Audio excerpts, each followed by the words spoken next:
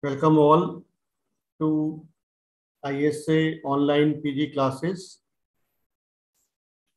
Today we have amongst us Dr. Vimi Rewari,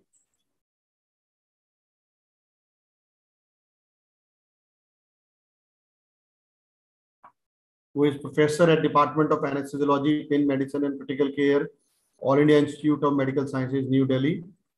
And her uh, areas of interest includes critical care, hepatobiliary and liver transplant, acute pain, difficult airway, and simulation.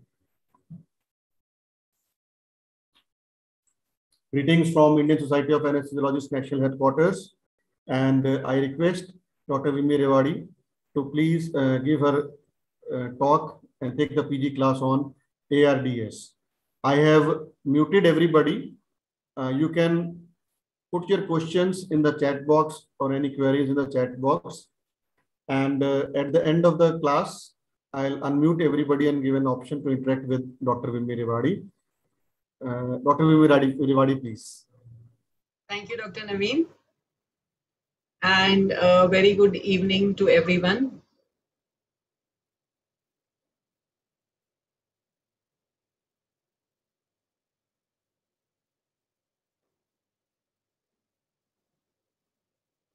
Am I audible? Yes, you're audible and your slides are uh, also visible. visible, right? Okay. So my topic for today is acute respiratory distress syndrome and in the next 45 minutes or so, I'll be taking you through various aspects of acute respiratory distress syndrome, or otherwise also known as uh, ARDS. We'll go through the history of ARDS, the definition, the epidemiology, the pathophysiology, the various diagnostic methods used to diagnose ARDS, and finally, the most important, the management of ARDS. So as we all know, ARDS is the acute onset of hypoxemia with bilateral pulmonary edema, which is uh, often due to increased alveolo-capillary permeability. This syndrome is associated with a very high mortality and most often death occurs due to associated sepsis and multi-organ failure. For the patients who survive ARDS, of, most of them will also have long-term sequelae in terms of functional and neuropsychiatric symptoms. So it's a very difficult disease.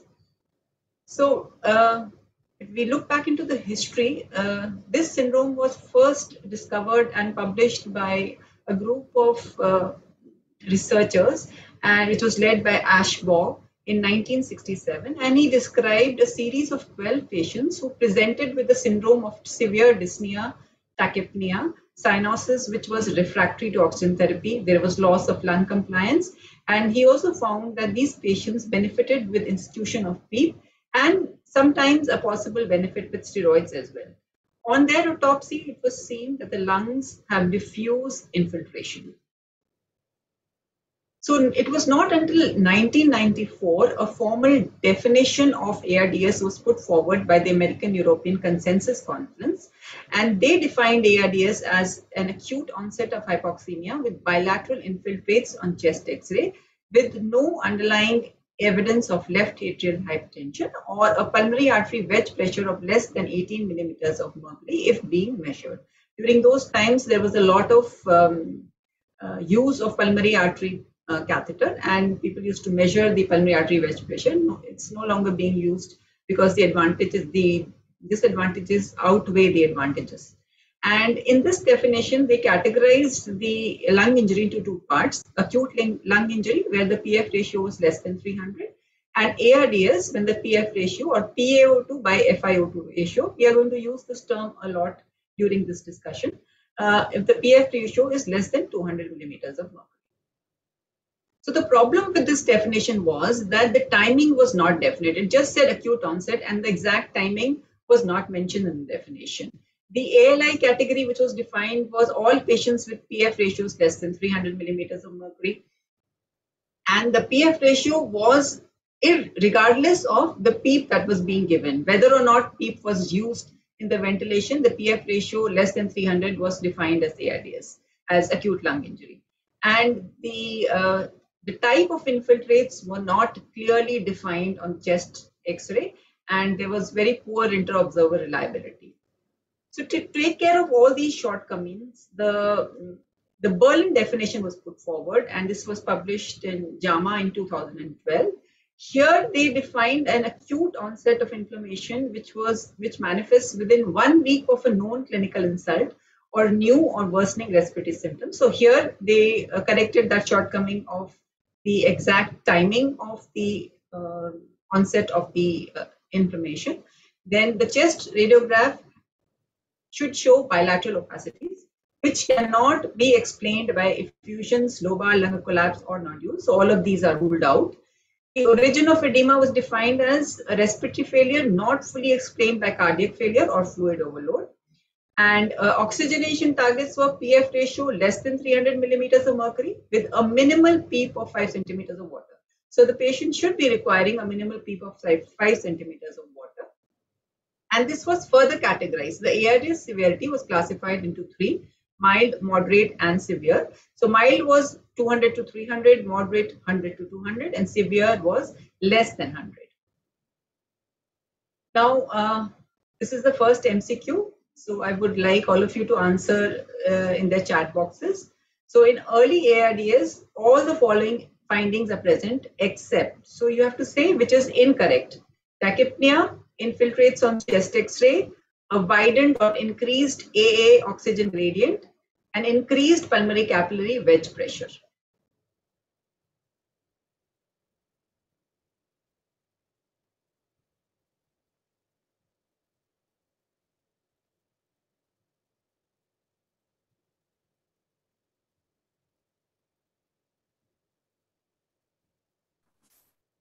About 15 seconds to answer these questions.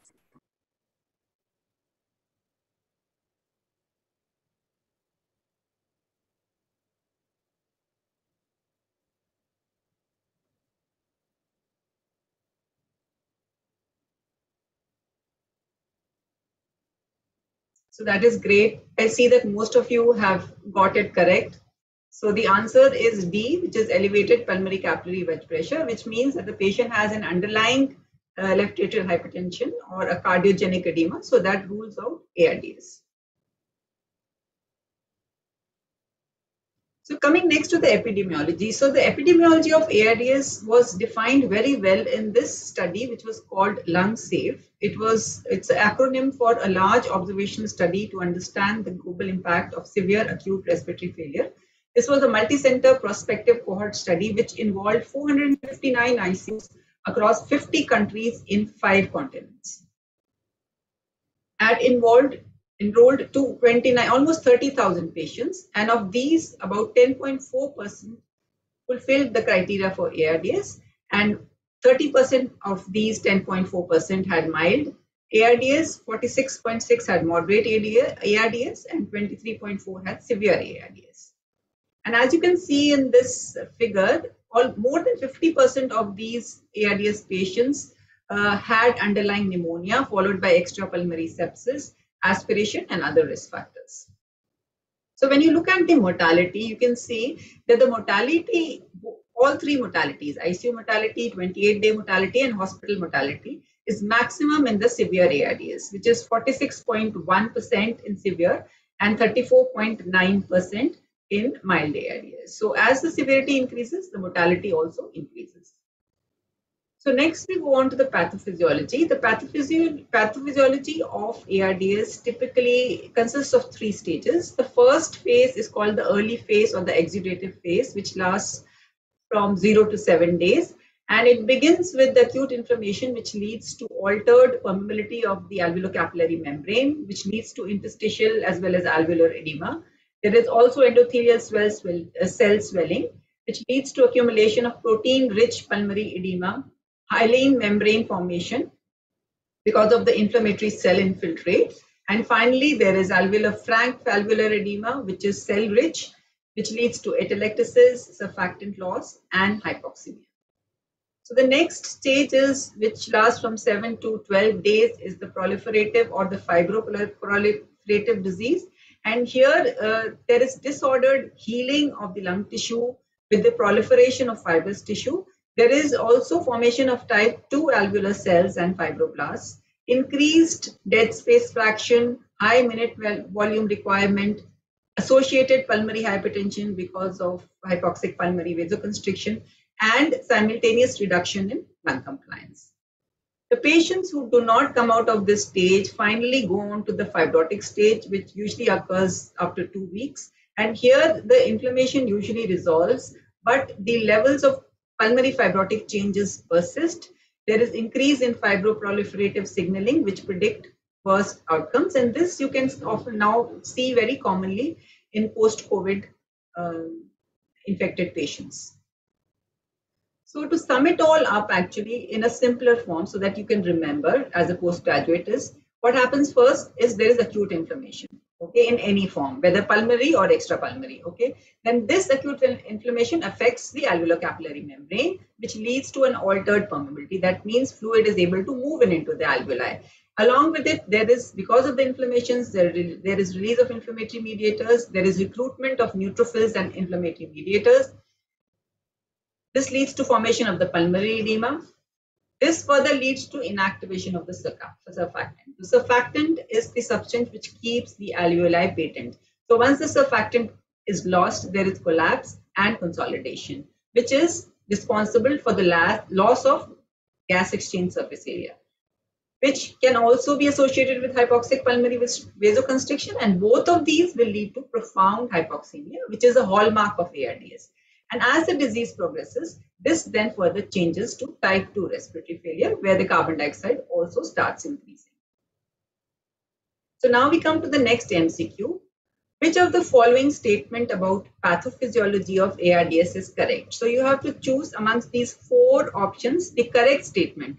In the early phase, the alveoli are flooded with low protein fluid. The proliferative phase involves formation of type 2 alveolar cells. Type 2 respiratory failure occurs early in the disease. All patients progress to the stage, of widespread fibrosis. So you have 15 seconds to answer this MCQ.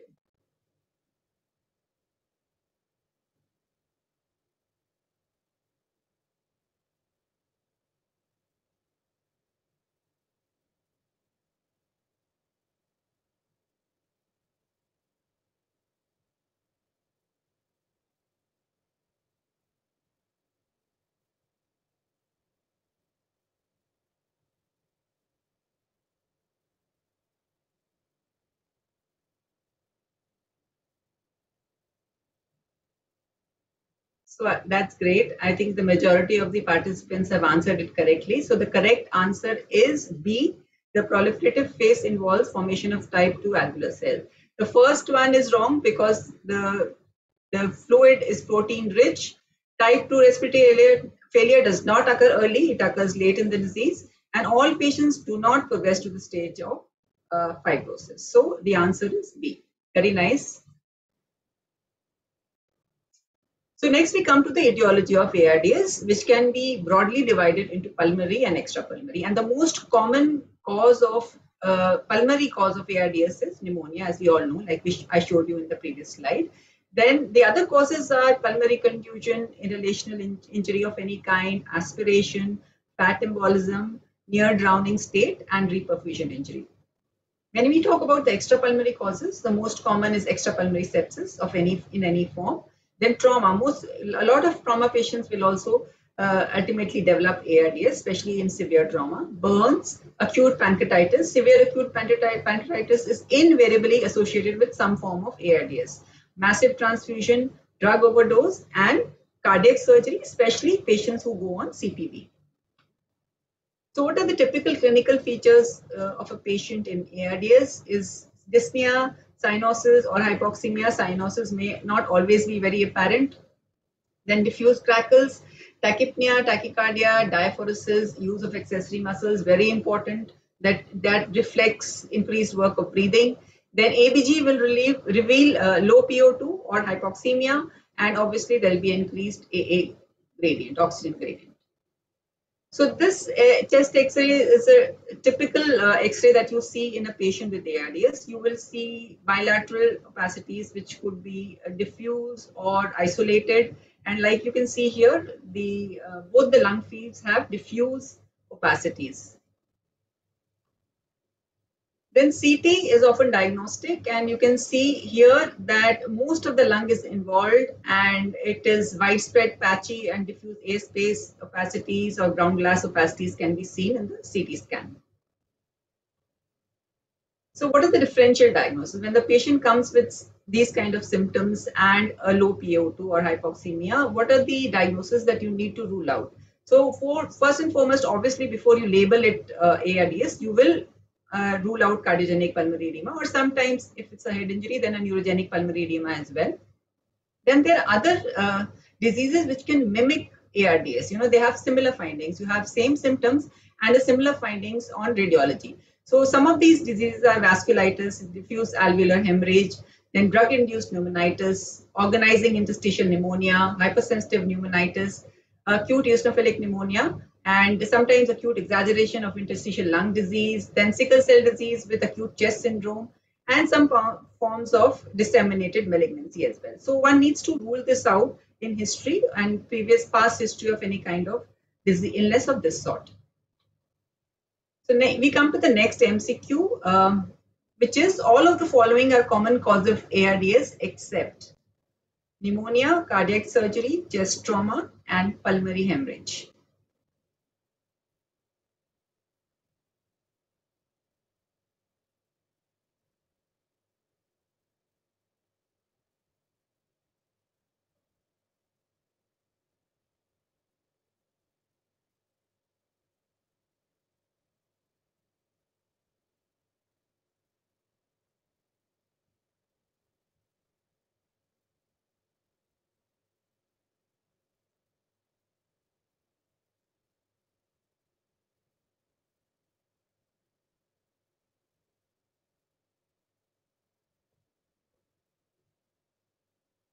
So your 15 seconds are over and uh, I think a majority of people were incorrect here because I think majority have answered either as cardiac surgery or chest trauma and these two uh, can be associated with ARDS. Pulmonary hemorrhage is often not associated with ARDS but it may manifest or mimic ARDS. So the correct answer is pulmonary hemorrhage.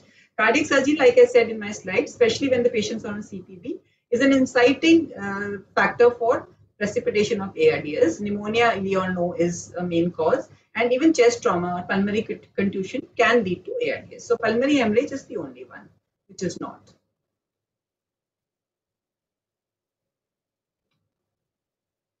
So uh, how do you exclude? So the first thing that you need to exclude is the cardiogenic pulmonary edema and that we can do by uh, doing certain markers such as BNP or proBNP which if is raised shows a cardiac involvement, but these can have false positives as well. Then echocardiography is, will also give you good indication. If the left ventricle and right ventricle function is good, then obviously the, uh, the cause of pulmonary edema is not um, cardiogenic. And sometimes in rare cases, you might need to uh, undergo right heart catheterization to actually uh, say that the patient has cardiac origin of pulmonary edema. Then sometimes you also need to, you know, it's not very clear and you suspect some kind of infection which can lead to ARDS.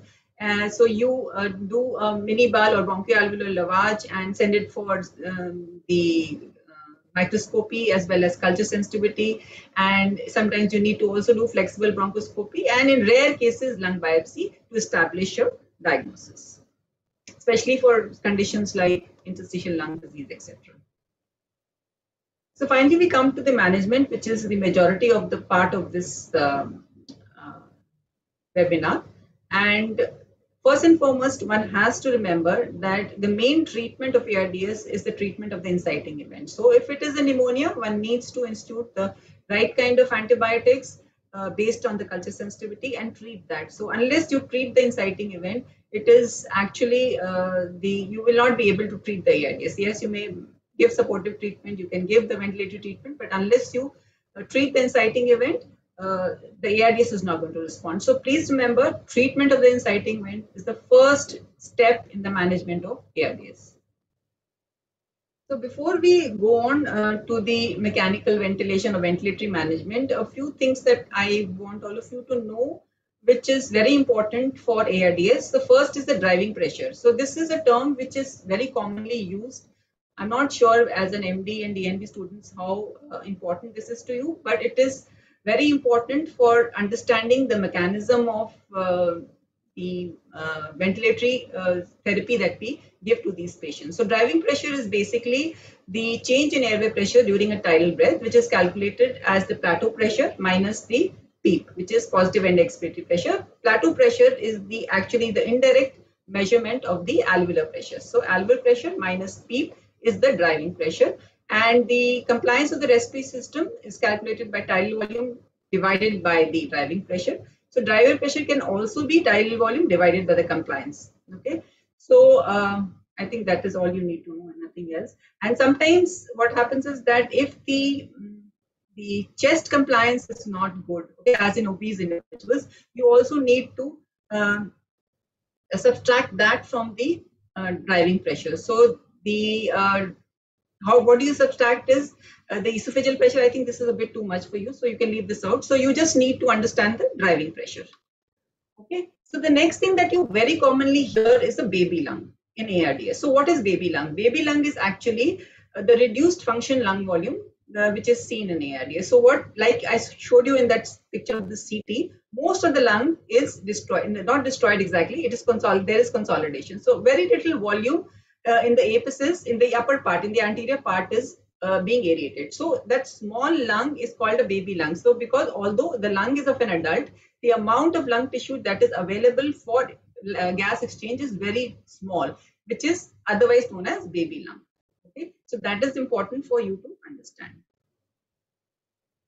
So uh, along with this, you will also need to understand that uh, because the lungs of in a patient with ARDS uh, is are very stiff or non-compliant, when you institute mechanical ventilation, the chances of ventilator-induced lung injury is very high in these patients. So I will talk a bit about the ventilator-induced lung injury because the main mechan the management of a patient with ARDS, besides managing the incite inciting event, is the ventilatory management. This is one of the very few interventions which has known to change the patient outcome.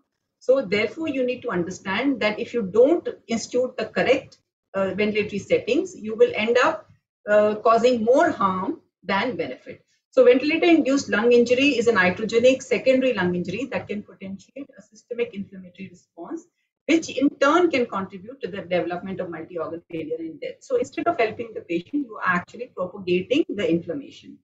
And what is that? So it can basically, basically of two types, volutrauma and atelectotrauma. Volutrauma is lung injury caused by alveolar overdistension. So this is basically the normal aerated lung in which you apply too much of transpulmonary pressure, which get overdistended.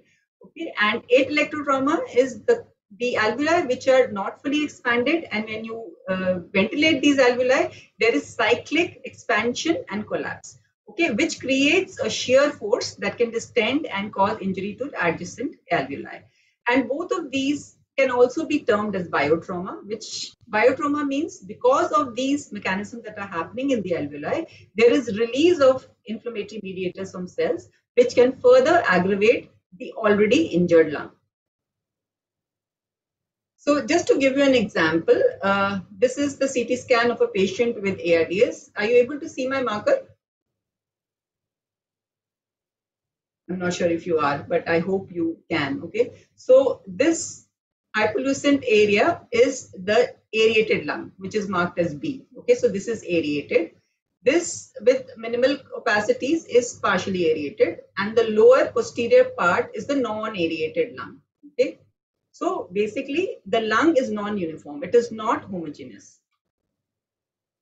So what you see here on the left is a normal uh, healthy individual's um, alveoli. Okay, these are a set of alveoli A and B. And when you ventilate this patient, the tidal volume is the air that is delivered to the lung is distributed equally to both the alveoli. Okay, so there is equal distribution. So the delivered tidal volume is equal to the measured tidal volume. However, in a patient with ARDS, what happens is that some of the alveoli may be collapsed or atelectic and the other one is normal. So obviously because there is uh, decreased compliance in this one, increased resistance, so the air will take the path of least resistance and will go over here.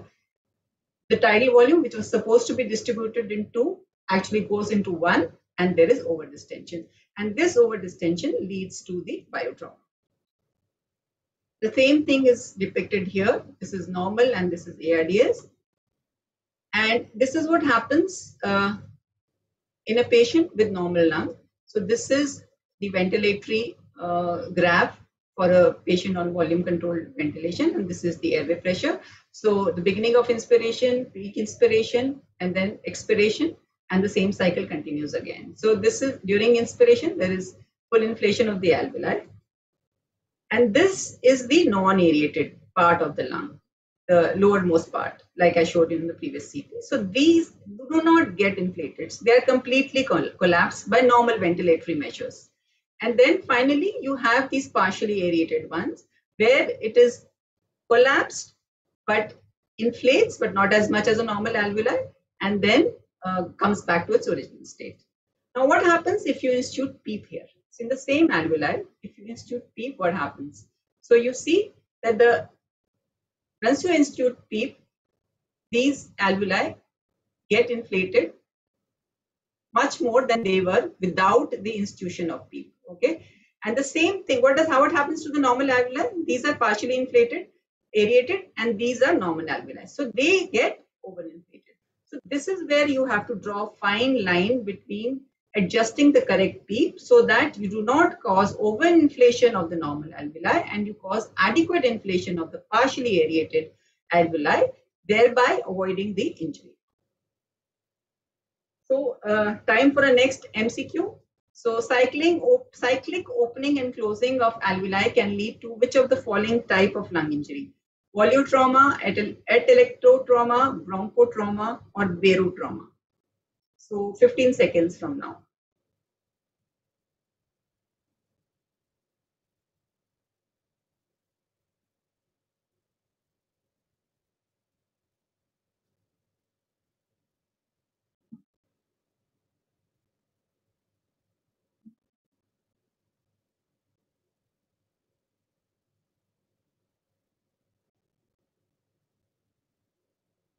So excellent. We have a very intelligent audience and all of them have given the correct answer. It is the atelectotrauma.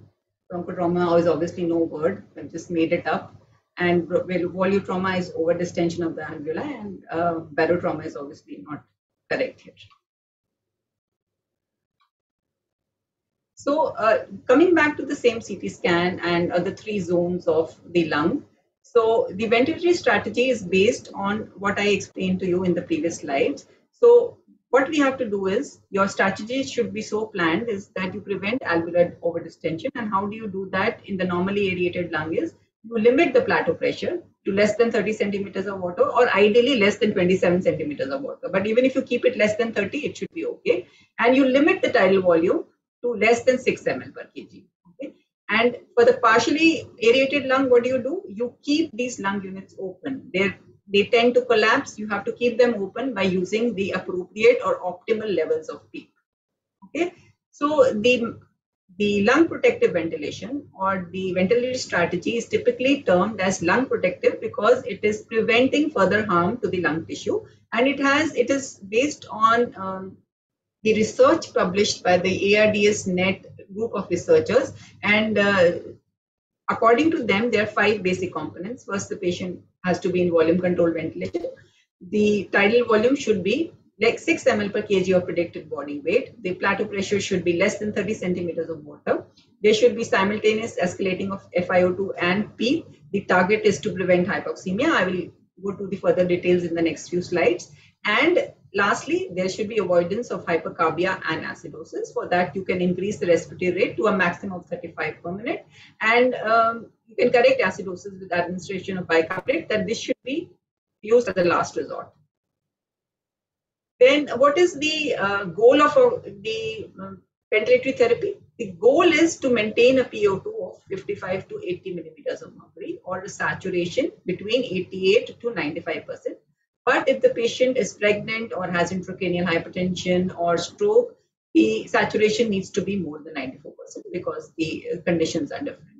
So why do we want to keep a goal of uh, PO2 55 to 80 millimeters of mercury? Because it has been shown in research that hyperoxia, hyperoxemia is known to be more detrimental. They increase the mortality instead of helping the patient because increase in oxygen will lead to increased production of free radicals and that can itself can cause more harm to the lung tissue. Therefore, a PaO2 55 to 80 millimeters of mercury is ideal. So this is the um, PEEP FiO2 chart that was published by the ARDSNet uh, uh, researchers. And they have two strategies, a low PEEP and a higher FiO2. And uh, you can titrate these two based on this chart. Or you have a higher PEEP and low FiO2 strategy. And I'm going to be talking about this a little later. I've already uh, described this for you. So how do we adjust PEEP? So adjust, PEEP can be adjusted based on various techniques. First is the compliance. So, so the ideal level of PEEP, the optimal PEEP is the one that is associated the best static compliance, which is the tidal volume divided by the PEEP plat or the tidal volume divided by the driving pressure. So the driving pressure should be less than 15, ideally less than 13 centimeters of water. So this requires an inspiratory hold and estimation of plateau pressure in the ventilator. Uh, most of the ventilators will do it for you nowadays, um, but the patient has to be uh, uh, does not has, should not have a spontaneous respiration and it should be on volume control mode. And the other way you can do is uh, by first is the by calculating the compliance, and the other is by constructing these uh, PV loops or the pressure volume loops, which is a very complicated method but nevertheless you should know a little bit about it. The thing is that you um, you calculate the inflection points. The lower inflection points is the one where the uh, by increasing the volume there is suddenly by increasing the pressure there is a sudden increase in compliance and the upper inflection point is the one where increasing the PEEP more than this will cause over, over so you should keep the PEEP in between the lower inflection point and the upper inflection point to prevent both of these, this complication and to prevent hypoxemia because of collapse of alveoli. The other ways of adjusting PEEP is by measuring the esophageal pressure, which is an indirect uh, indicator of the alveolar pressure. Or you can also guide your PEEP using CT scan, uh, but this is again very difficult because you have to transport a hypoxemic patient to the CT room with its associated problems, or some people have also used lung ultrasound to see the inflation and uh, guiding the PEEP. But these are very objective and requires a lot of training. So, um, like I said, these things I've already discussed. So finally, we come to this part, which is completely collapsed. So how do you how do you treat this part? How do you inflate this part which is not really aerated? So uh, you can open the collapsed fluid filled lung by using a recruitment maneuver and maintain the lung open by using a higher PEEP. So like I said, there's a higher PEEP low FiO2 algorithm as, as well. So you can use that. So I'll just explain it, what this is all about. So how should you decide whether this patient needs high PEEP or low PEEP? So high PEEP should not be given indiscriminately to all the patients because it causes its own problems. It can lead to over distension of normal alveoli and cause more harm and may not be beneficial because the anatomical rec recruitment like i said before is variable you do not know it is a non-homogeneous lung you do not know how much of it is available for recruitment and functional recruitment does not predict anatomical recruitment well so therefore it should not be given indiscriminately to all the patients. And there is actually no simple method of identifying which patients are likely to benefit from high PEEP and the risk of over distension is very much a fear. So ideally, if the patient is not responding to the uh, high FiO2 low PEEP uh, therapy, then one can institute recruitment maneuvers in, uh, in these patients and should be given in early, less than 48 hours ARDS. But the problem, and then institute a high PEEP. The problem with high PEEP is that they can be hemodynamic dynamic compromise and an RV dysfunction, which can further complicate matters. So uh, a bit about recruitment maneuvers. There is intermittent application of high transpulmonary pressure, which is intended to increase the end expiratory lung volume and open up the non-aerated lungs. So the first to be treated very well, but the non-aerated lung is a difficult thing to handle. So that, for that, one might use recruitment maneuver, but, but I have to tell you here that recruitment maneuvers are actually not very safe and it's not indicated for all the patients and should be used selectively in, in hands of people who are trained to monitor and handle all the complications. And most of the studies have actually not shown any advantage in terms of outcome. So just to tell you what recruitment maneuvers are, there are various ways you can do it. You can apply a CPAP, a very high CPAP of 40 centimeters of water for 30 to 40 seconds, or you can use a series of large tidal volumes, 12 to 15 ml per kg, use sigh breaths, or a series of breath with uh, pressure controlled ventilation of 50 centimeters of water and a PEEP of 24 centimeters of water. All of these are um, various ways, and the most common is actually institution of 40 centimeters of um, continuous positive airway pressure for 30 to 40 seconds. But there are certain prerequisites to this is before you start doing the recruitment maneuver, you should ensure that the patient is well sedated, paralyzed, hemodynamically stable, adequately hydrated, because this can lead to severe hypotension. And one should avoid it in patients with raised intracranial pressure, patients with chronic respiratory disease, because there are chances of barotrauma, obesity, and patients who are pregnant. So, like I said, the adverse effects of recruitment maneuvers or PEEP is the high PEEP is that there can be overdistension of already patent alveoli in an expiration, and optimum PEEP in one region may overdistend another, more likely with focal disease and less likely with diffuse disease. But most often, most of these patients will have a lot of focal disease or patchy disease, and obviously it is associated with hemodynamic instability, so it's not very safe. So lung protective ventilation is very good, but it comes with its own associated uh, limitations.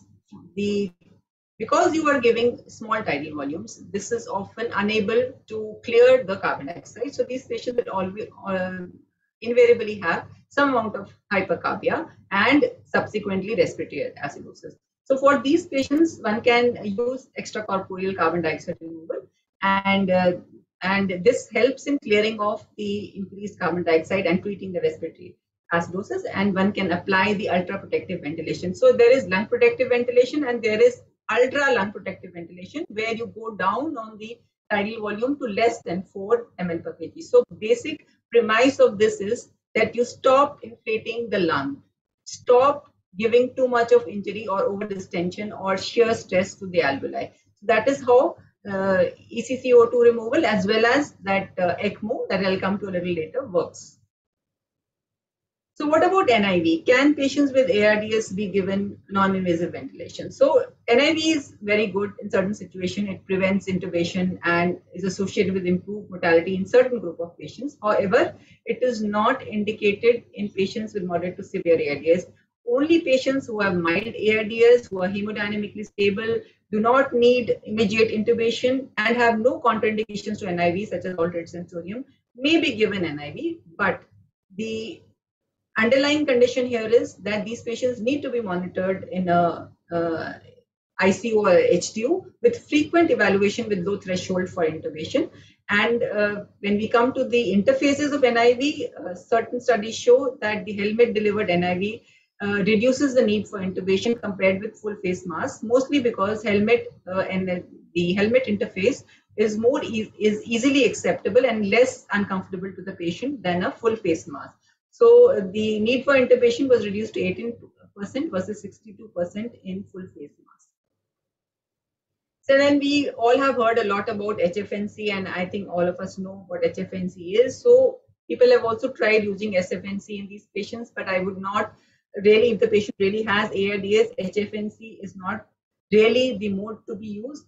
The advantages of HFNC, like we all know, is that you can deliver uh, wide range of FiO2s 0.21 to 1 and with warm and humidified gases. And the mechanism how it acts is that it causes a reduction in the anatomical dead space in the nasopharynx and replaces it with uh, oxygen and it reduces the work of breathing and because of the high flow, there is some amount of PEEP generation, which may cause lung recruitment. Again, same as NIV, it has to be used very carefully in acute hypoxemic respiratory failure, uh, especially if the patient does not have any comorbidities and has community acquired pneumonia or bacterial viral engine. So it can be tried, but again, again uh, in strict uh, monitoring environment.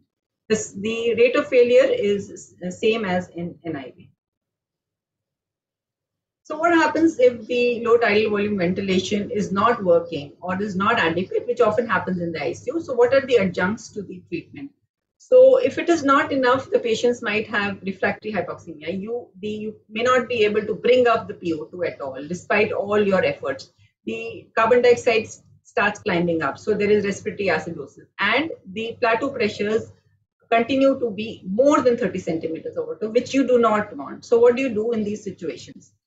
So um, if the PaO2, and how do you label it as refractory hypoxemia? If the PaO2 is less than 60 millimeters of mercury for at least one hour with an FiO2 of one and a PEEP of more than five centimeters of water, then it is labeled as refractory hypoxemia.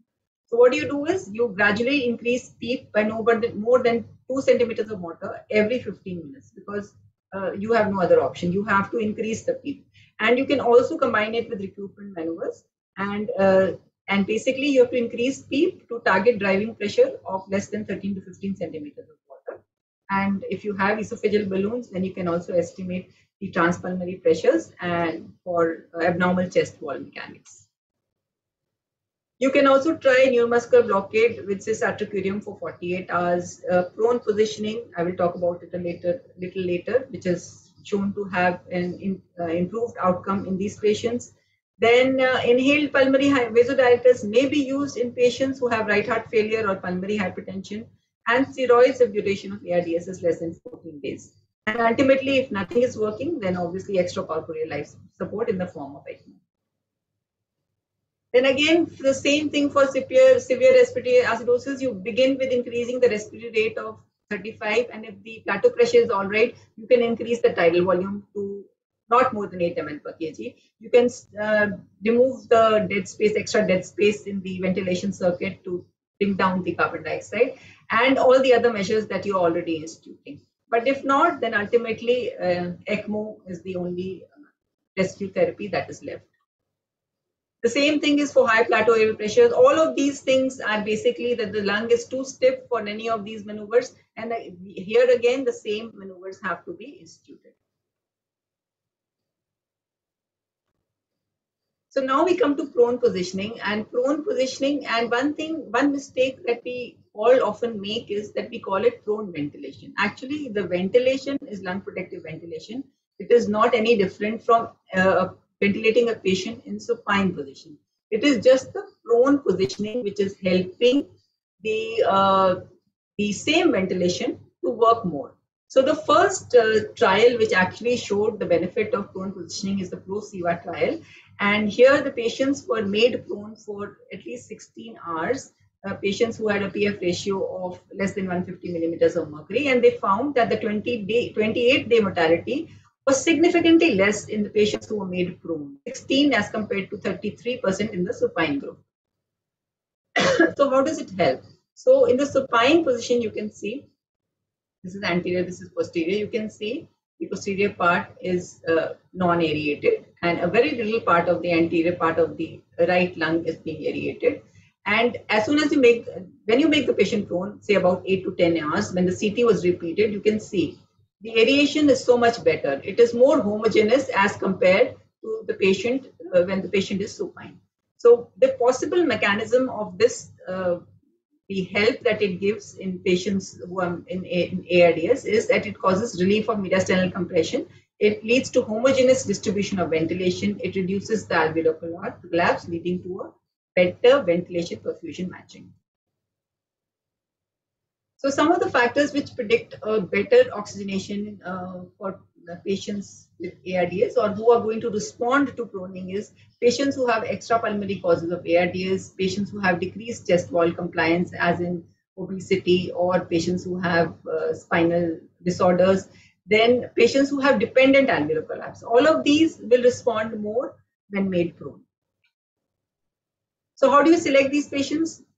Patients who are moderate to severe ARDS. That means PF ratio is less than 150 millimeters of mercury. Patients who are already being ventilated with lung protective ventilation, it should be initiated early, less than 36 hours ideally.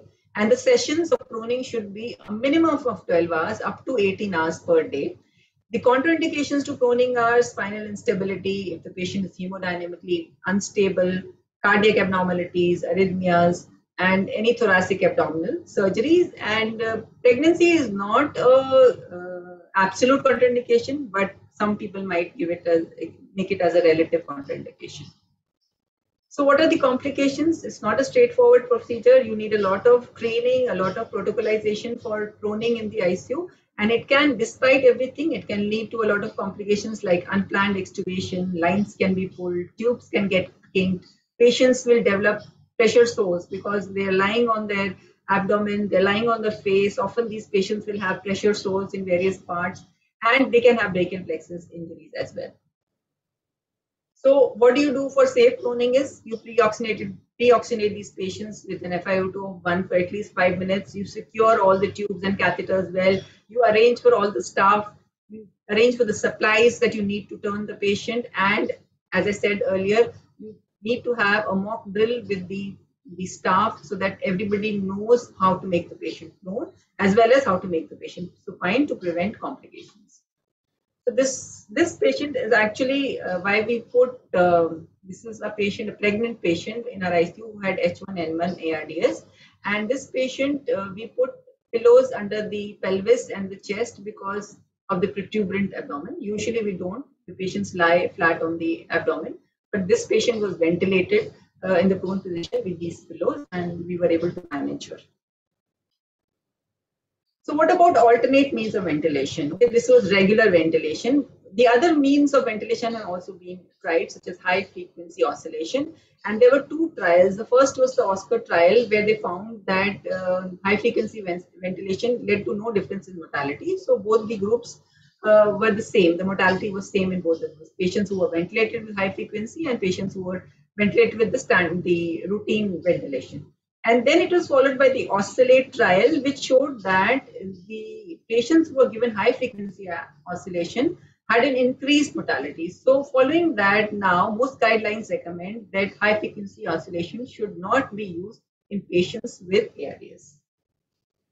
Then airway pressure release ventilation is basically that you have two CPAP levels. So you have a high CPAP level where the patient is breathing spontaneously and then you have intermittent drop in pressure, release in that high pressure. So the patient, uh, the there is release in pressure, and this leads to clearance of the carbon dioxide. So because the breathing is retained, there these patients can breathe both at the higher level and the lower levels. So this was also tried, but again, uh, not shown any difference in outcome and did not be was not seen to be very helpful in these patients. So is no longer tried. But there are various trials.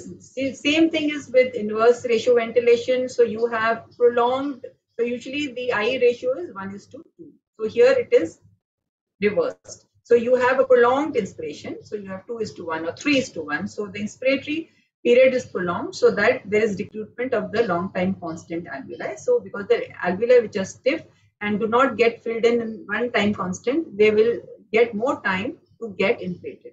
And the shortened expiratory phase, what it does is that because the expiratory phase is shortened, it does not get time to empty out. So because it does not get time to empty out, there is an intentional auto. So this is how it is supposed to help. But again, there has been no changes in outcome. It does have no effect on the mortality.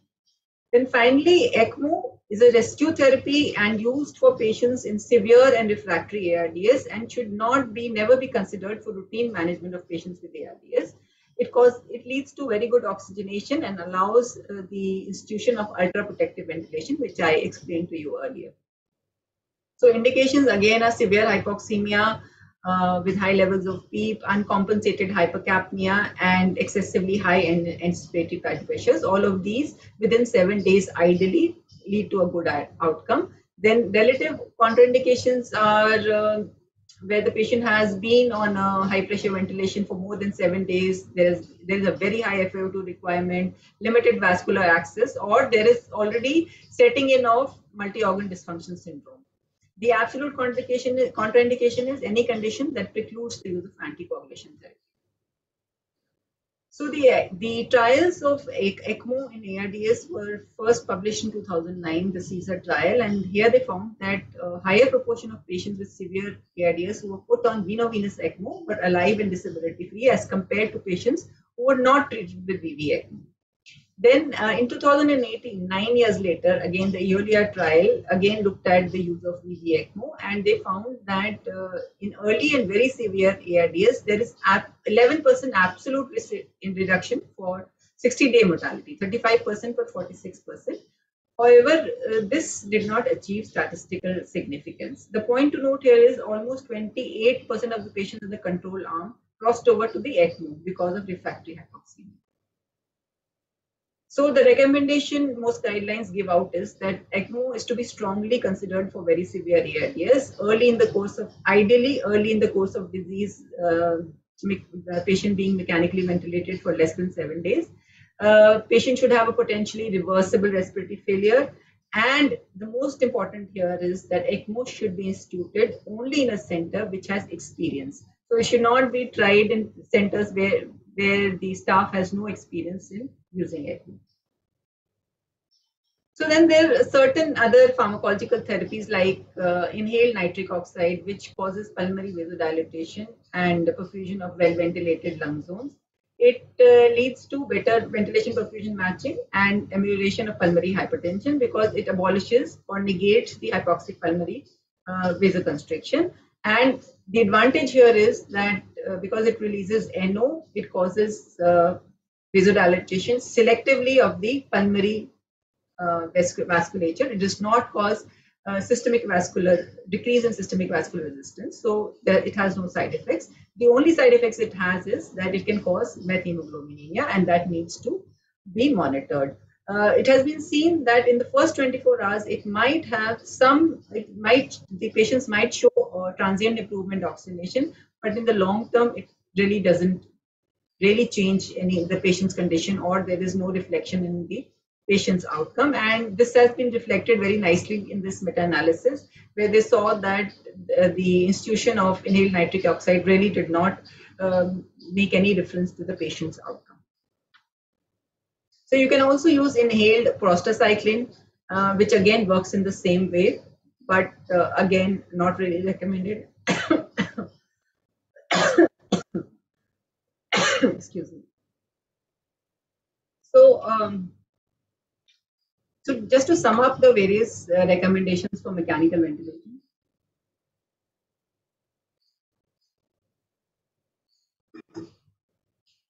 So uh, first is the lung protective ventilation, low tidal volume, less than 6 ml per kg, prone positioning uh, for at least 12 to 18 hours per day in moderate, uh, in uh, severe ARDS.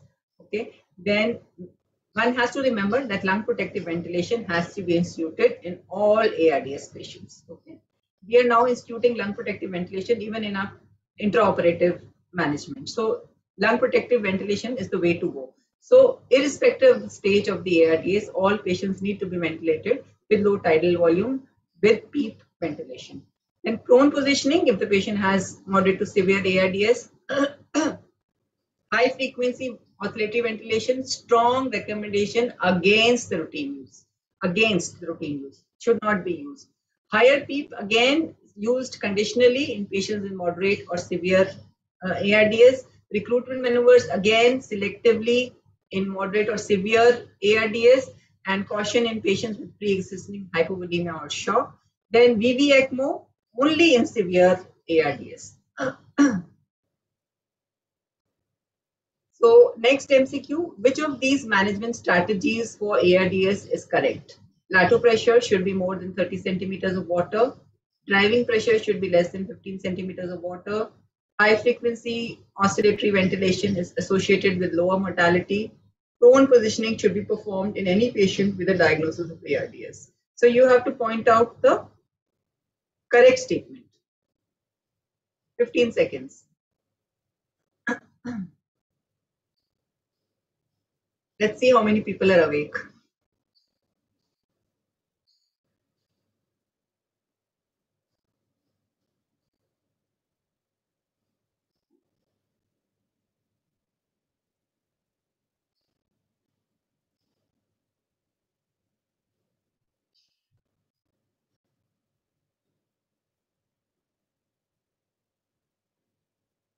Excellent. I'm really impressed. All of you are brilliant students. All of you have answered correctly. Great. So next we come to the supportive care. So supportive care is a very important part of managing ARDS because it will lead, uh, it can cause improvement in their outcomes. So first we talk about the neuromuscular blockade.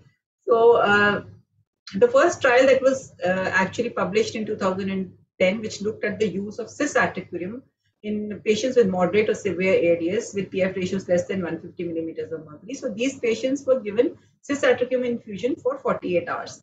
And they, the authors found that early administration of neuromuscular blockers improved the adjusted 90-day survival and increased time of the ventilator without an increased incidence of muscle weakness. So uh, what is the advantage of neuromuscular blockade? The advantage is it reduces the ventilator patient dyssynchrony. So it prevents generation of high tidal volume and transpulmonary pressure, which are the main culprit for causing lung injury. And it helps in instituting the correct form of lung protective ventilation without the patient uh, causing any uh, dyssynchrony. Also, uh, the only thing you need to remember is that it should be instituted for as less duration as possible because prolonged use of neuromuscular blockade is a very it is a high risk for patients developing critical illness polyneuromyopathy. So the recommendation is so short duration neuromuscular blockade use is safe. It may enable improve and enable, enable patients to have an improved gas exchange and and also enable ventilator, ventilator synchrony. But one should be careful that we do not use it for prolonged periods. Then what about fluid strategy? Does it have a role? role? So the first trial to look at it was the FACTT trial where they compared two strategies of fluid management, liberal strategy and the restrictive strategy. And what they saw was the death rate at 60 days was uh, much less in the uh, conservative group as compared to the uh, liberal group it was 25.5 versus 28.4 and the mean cumulative fluid balance till day 7 was so much less in the conservative group minus 136 ml as compared to plus 7000 ml in the liberal strategy group. They also found that these patients in the restrictive strategy had improved oxygenation index and lung injury score and increased number of ventilator free days and along with it they also found despite giving them a restrictive fluid therapy, there was no increase in shock or use of dialysis. So it did not compromise the renal perfusion because there was no incident, no increased incidence of use of dialysis.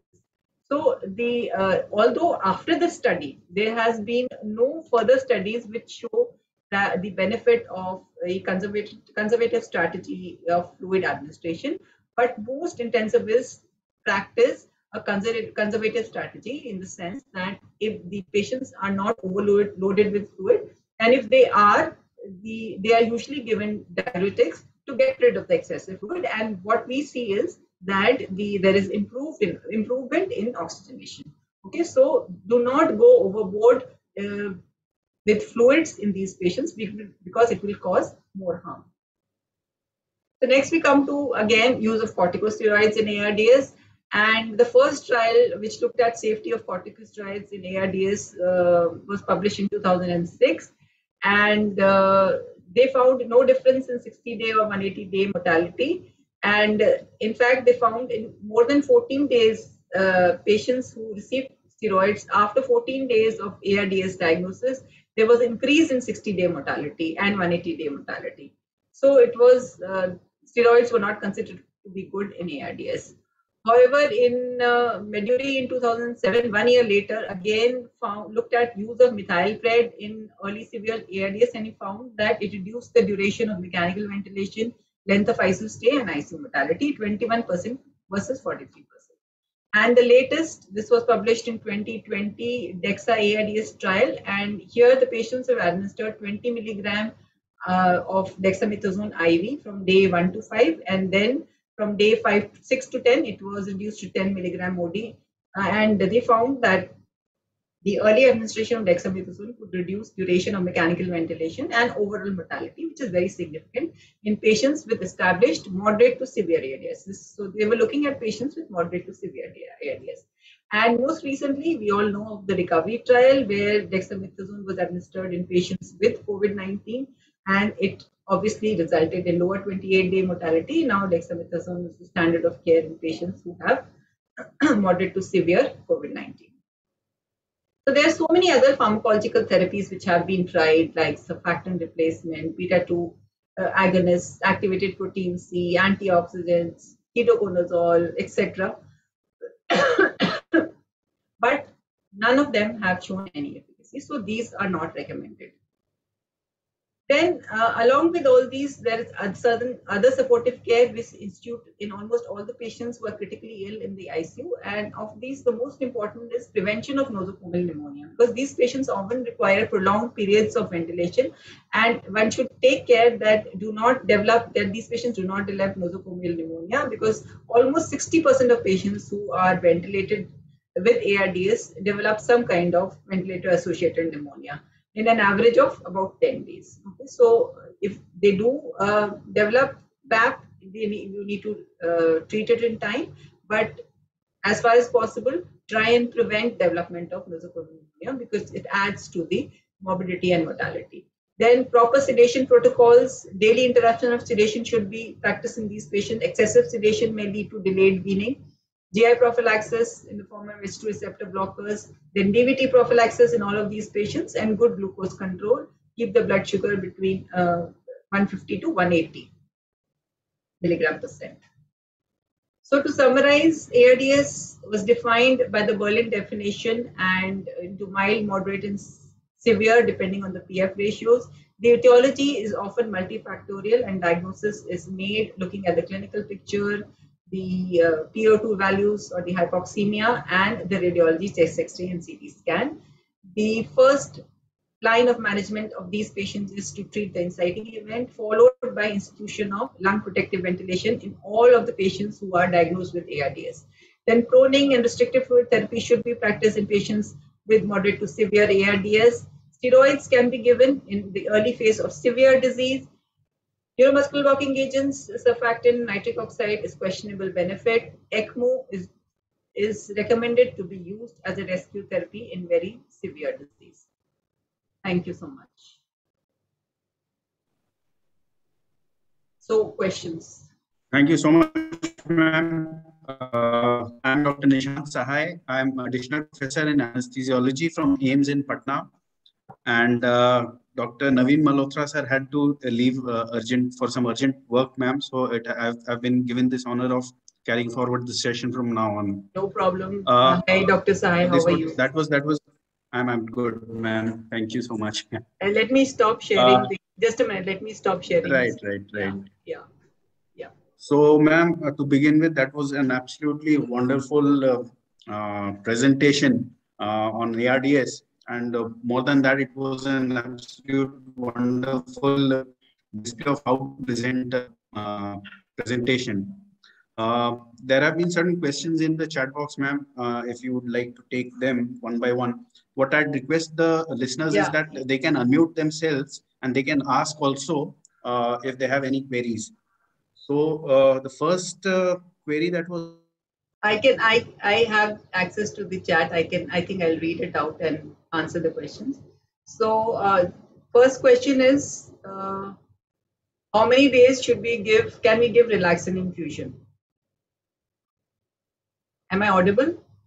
Hello.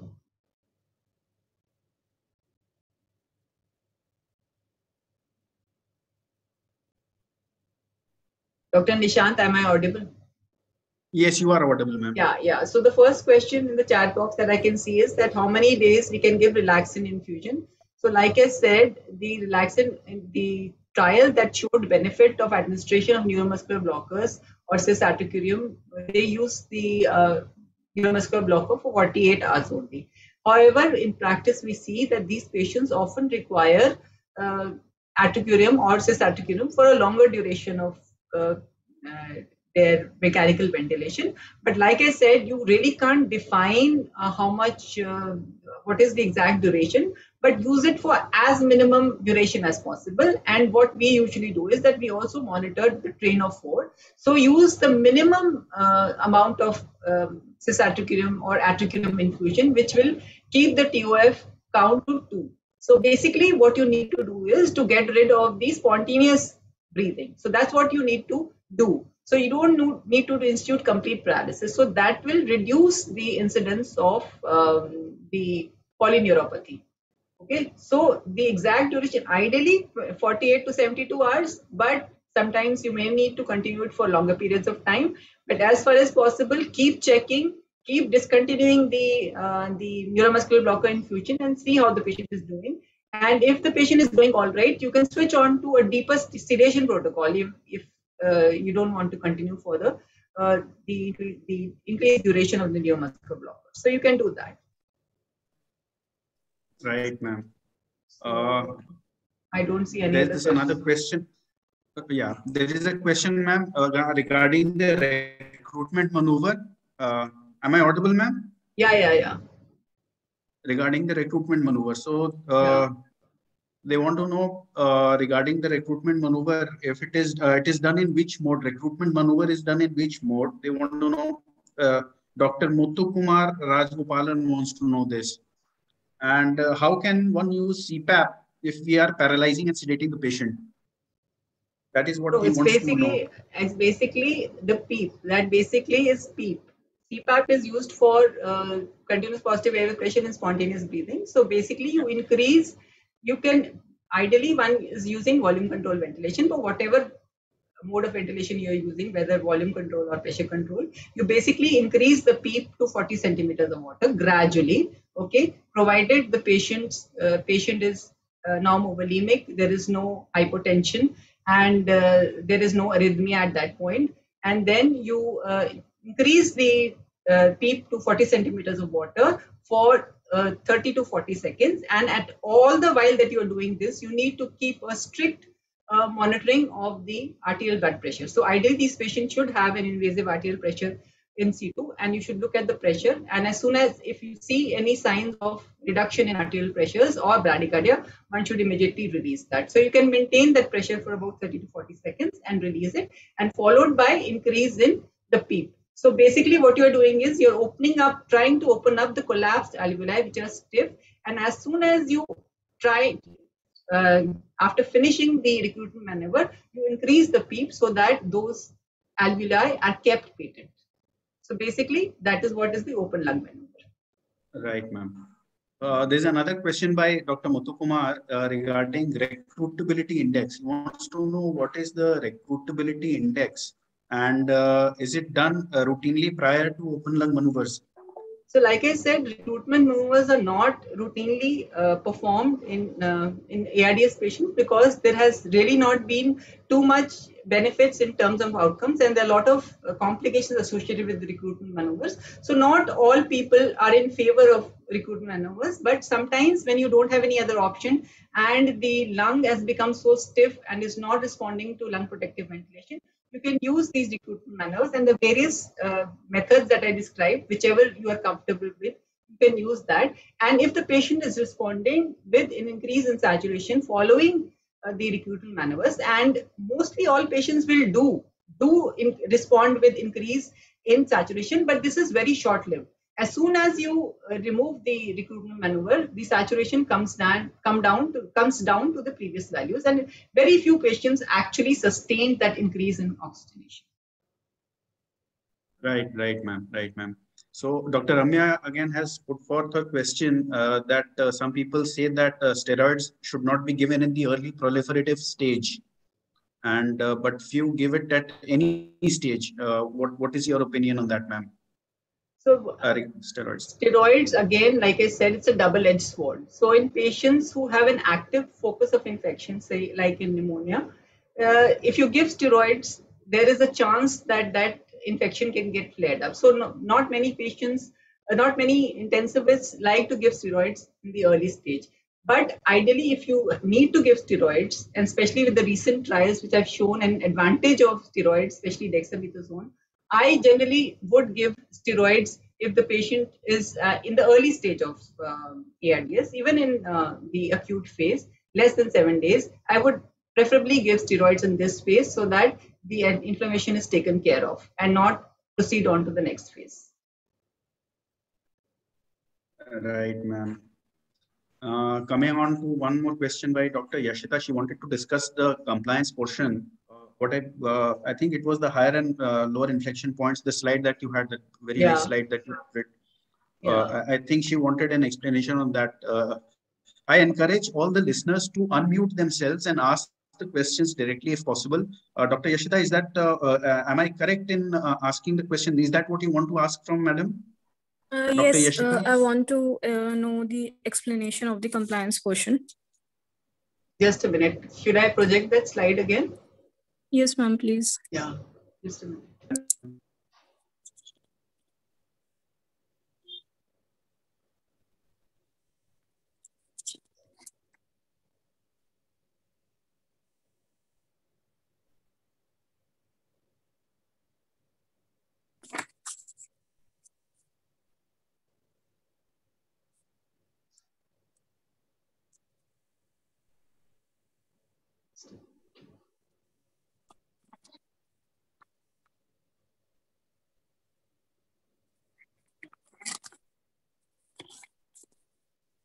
So, uh, so like I said, it's actually it's an uh, kind of a hysteresis curve where there is inspiration and expiration. So when the patient is on a controlled ventilation,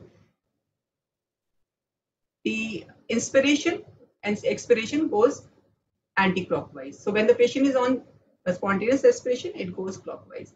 So this part is inspiration and that part is expiration. So what happens is that as the, the pressure rises, there is increase in volume. And after a certain point, there is sudden increase in volume, which shows that there is better compliance.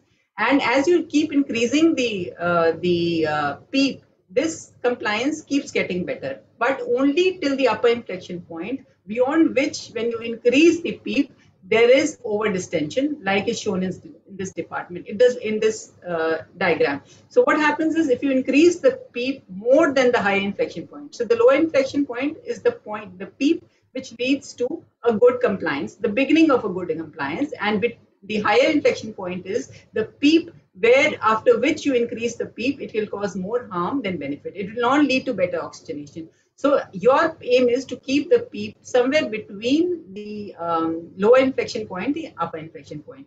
So most of the newer um ventilators are able to generate generate these pressure volume loops, and you can actually look at these. But the only thing is it requires uh, experience and it is very uh, observer based. So this is not really uh, used very often. It is not not being uh, being used very uh, frequently. And most people and what we also use is the measurement of compliance and the peep that is associated with the best compliance which is an indirect measure. So here also basically what you're looking at is compliance but the method to calculate it is a bit more uh, tedious or difficult than uh, the measurement of compliance directly. I hope that answers your uh, question. Yeah, I am.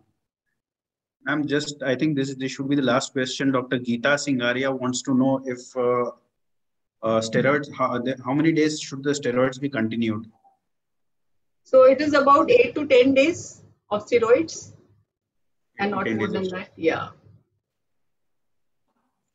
I don't see any other question in the chat box, ma'am. Uh, it, it was an ex, uh, excellent presentation. I'm sure the PGs must have benefited. And for the benefit of uh, some of the colleagues who have not been able to join today, uh, these uh, th- these recordings are present in the ISA uh, website also. So uh, you can we can all catch up at a later date if we want to catch up on all these lectures. And uh, the next week is another very interesting lecture. It will be awareness under anesthesia by Dr. Manisha Katikar. Uh, she's from uh, Maharashtra. So uh, I think uh, we can wind up now, ma'am. Uh, it was uh, it was very nice, Thank and uh, you. thank you so much. Thank you so much, everyone. Thank you, Uh, Dr. Nishant, and I must say that the audience is very attentive, and uh, it, and all of them answered all the questions very well. So I'm quite impressed.